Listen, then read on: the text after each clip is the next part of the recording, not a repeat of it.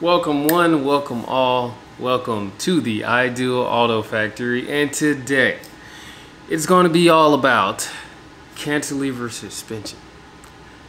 So let's keep God first and get into this video. Cue the intro.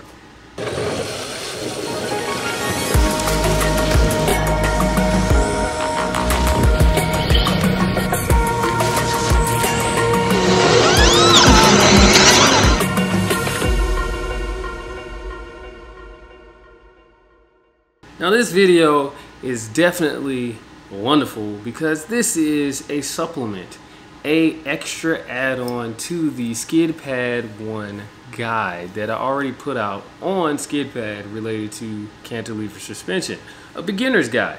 And what I plan to do today is give you a quick and simple add-on to that to help you better understand cantilever suspension and where to start.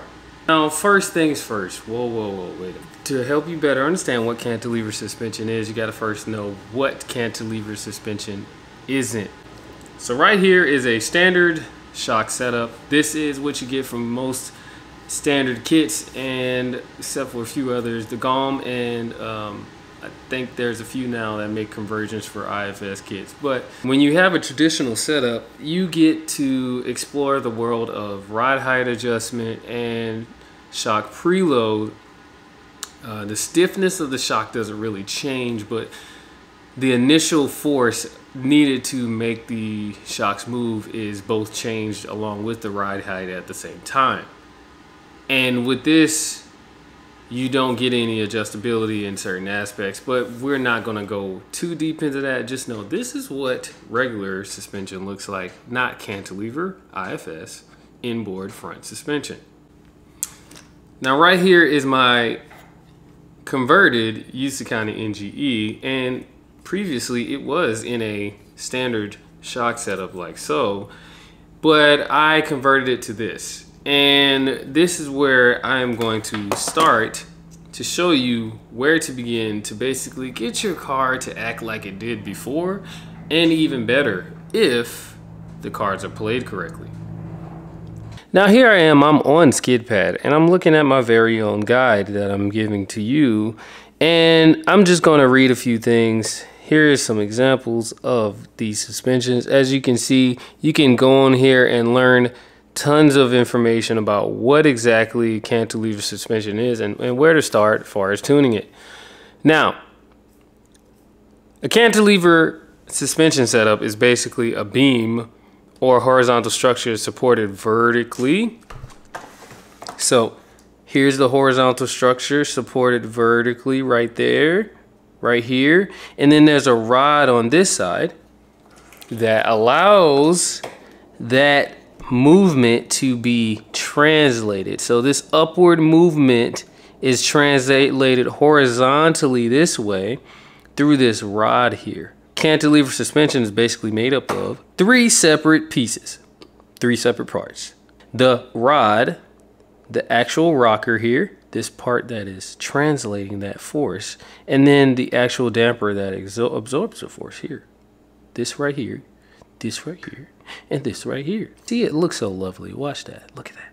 Look at that. Now, how do you get how do you get back to this after transitioning from the normal layout, the traditional shock and shock tower? I wish I had a, a name I could call that. Oh, I got it. How do you go and make your cantilever setup just as good as your non-cantilever setup? Look at that. I made that simpler. And here we have the setup that would come right after you converted it. You kept your dampers the same as you would if they were non-cantilevered. And this is what you end up with. Now, if you look, the chassis is pretty much on the table. There's not much bounce that I have there. And there's a lot of preload I can add to this. So what I'm going to do is simply start with the damper and just twist that about 10 turns or so make sure they equal that's a really awesome thing about cantilever you can kind of just look up top and be like ah that's equal now that I've done that, let's see what we have. Whether we get the good old test. Yeah, that's nice. So it looks like back to normal here. But sometimes you might say, okay, well, I just did the same thing I would have did if I had shock towers. So what's the point? Why do all of this extra stuff if I'm just going to just adjust this and be back to where I need to be like I was if I didn't even convert my front end to this in the first place. Well, let me show you. Let's bring this back down. I'm going to bring it back down about 10 turns. Same on this side to where we don't have any bounce and it's pretty much touching the table. You know, barely anything. Let's go a little further there. So, nothing. Pretty much nothing. Now I'm going to lengthen these. I'm going to lengthen the rod and get the car to raise up because this is my ride height adjustment now. I don't have to adjust for ride height here. So I can keep this preload the same and then just adjust the ride height. See if I get it up here again to do the same bounce. And of course, for reference, here is the length currently at 23 millimeters. And we are back with an adjusted length longer than what was previously there. And that new length is 27 millimeters and as you can see there's a lot of bounce here. It's not even touching the table anymore and if you look closely look at that. The preload here is the same as it was before and we can even decrease it more now. Decrease it even more and and, and look we still have so much bounce. So we went from having to have preload on the dampers to almost having no preload at all. Let's see what happens when we adjust these collars all the way back to zero preload. Oh, we're touching the we're we're touching again. Right down there. So as you can see, that is an advantage of cantilever suspension setups your preload is now isolated and you don't really need to adjust it as much because you have your own ride height adjustment right here. So if your springs are already made for the chassis, meaning it came in the kit or it's just something that already worked when it was right here with the shock tower, it's going to work up here and maybe even with less preload on it. Now, there are cases where that's not that easy. When you switch things over, it seems like everything gets all out of whack, and that's because there's so many adjustments. I know for a fact the Shark, Rhino Racing Shark IFS kit for, for the D, direct drive steering system, that IFS kit comes with so many adjustments. The cantilever setup can be tuned to so many different springs because, let's be honest, Rhino Racing doesn't make a damper and they made it so you can use any damper, so I think, and therefore a lot of different settings, a lot of different places to put the holes and things like that to adjust your lever ratios. Now what exactly is a lever ratio? Okay, let, us I'm gonna break it down for you as simple as I can. Let's go about here. So the lever ratio refers to pretty much, just think of it this way. You got the, the, the rotating of the rocker arm here. And then you got the distance from, you know, the center of it to the rod end here. And the distance of it from the center of it to the rod end here. So from the rod, the distance from there, and then you got the distance from here to the damper rod, right? So let's say they're they're one to one. So that means pretty much the distance that this travels up is the distance that that travels this way. Well, hmm, you got this that comes into play here, but we're not going to make it too complicated. Just know if this one's longer, if this one's longer, this one, the, the motion up is shorter than how long this will travel. Hmm. Hope that makes sense. It's the it's a pretty much a game of distances. So how much uh, distance this will travel up versus that traveling backwards. And you can play around with the lever ratios. But to better help you understand, I'm going to get my TDP. And then this is where like all the settings can get a little complicated, but we're still going to keep it simple, all right? I'm just going to show you on the TDP and then we'll keep it going. So here's my TDP, and this is what I mean when I talk about lever ratio. So right there, you can see there's a, a spot you can put the screw here or you can put the screw there. That means the rod end is going to be here or it's going to be closer to that center point there. And then also down here, it's the same adjustment. So there's two holes here and there's also two holes there. So you can adjust the rod and how you know, far, far out away from the, the center point it is, or you can make it go in. So there's four different setups here that you can run. You can run up here and then inward, or outward, inward. Then you can run outward, outward. And then you can run inward, inward, or inward, outward. You know, different lever ratios give you different results. And then look also here you can put the actual lever, the rocker arm, you can put it in different spots in relation to the lower arm here. And that gives you a different setting, a different behavior as well. Now, here are a couple things to look out for when it comes to cantilever suspension. So if you look here, these dampers are perfectly horizontal.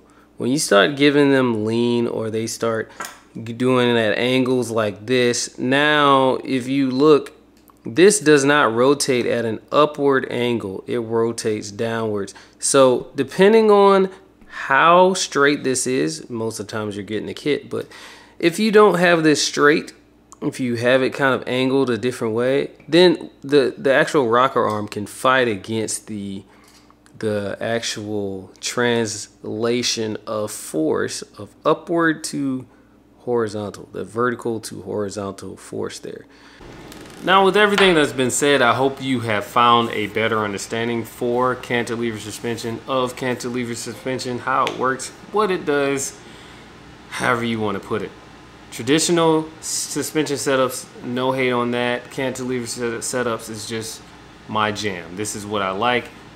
But also, I think that sometimes we can have a partiality to something else because we don't fully understand how something else works. Therefore, insert SkidPad guide for cantilever suspension. As this, as this video draws to a close, I do want to leave you with a few takeaways and of course I want to show you my personalized cantilever setup.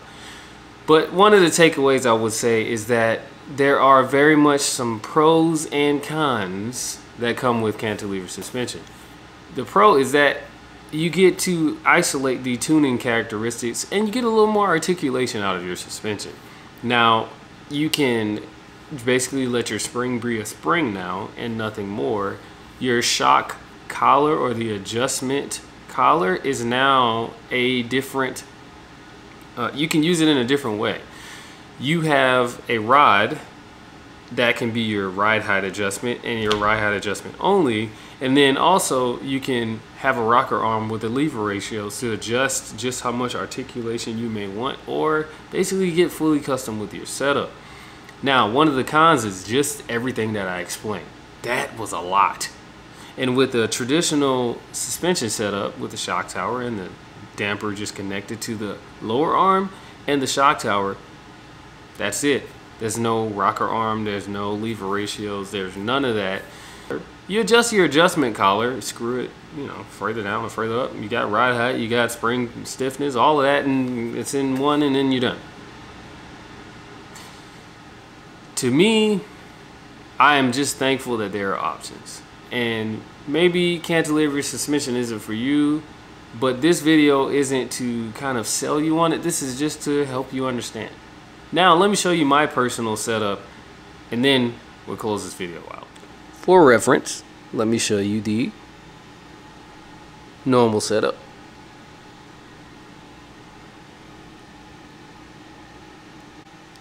And here is my personalized setup.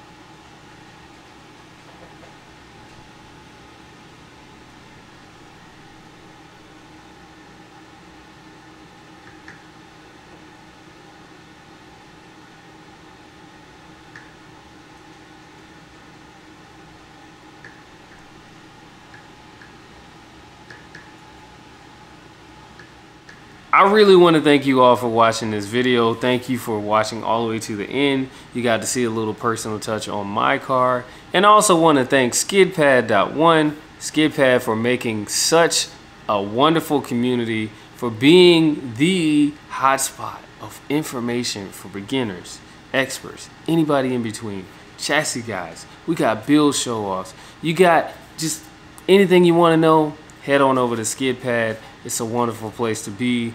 Thank you for making this opportunity possible. I get to now supplement guides with videos.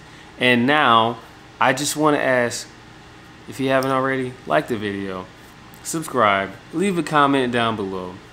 Thank you for your support. Hey, I'll catch you all in the next video. Keep God first and be blessed.